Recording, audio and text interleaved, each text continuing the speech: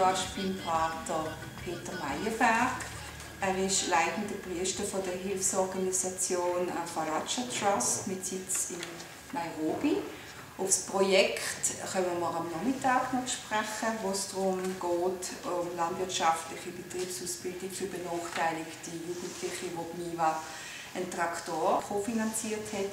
Was mich jetzt als erstes mal interessiert, ist Sie als Person, Pater Peter. Sie haben mir vorhin erzählt, Sie haben schon seit langem irgendwie stehen Sie in Kontakt mit dem MIWA. Als ich in ICT studiert habe, sechs Jahre, hatte ich einen einen Lehrer in Geografie, Friedrich Ziegler, der der Gründer war von der MIWA Schweiz. Schweiz.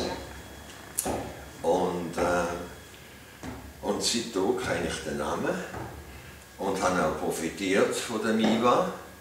Ich habe vor etwa 30 Jahren oder fast 40 Jahren mal eine Eingabe gemacht für eine Sekundarschule in äh, Eldoret und habe postwendend habe ich äh, die Antwort bekommen, ja, das können wir finanzieren. Es war ein, ein, kleiner Bus für eine Schule, weit weg von jeder Zivilisation.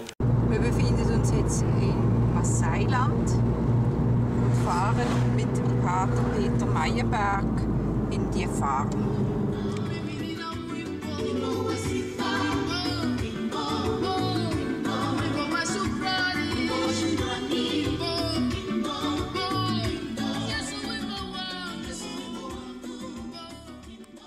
What did you learn here? Was hat er genau gelernt? I learn about farming, I learn about how to plant crops, utilize your crops, how you do make about uh, fertilization of uh, fertilize about the plants to grow, how to manage the farm, how you be managing the farm, how you'll be a farmer in the future, and how it will help other people to come to the end whereby we are right now.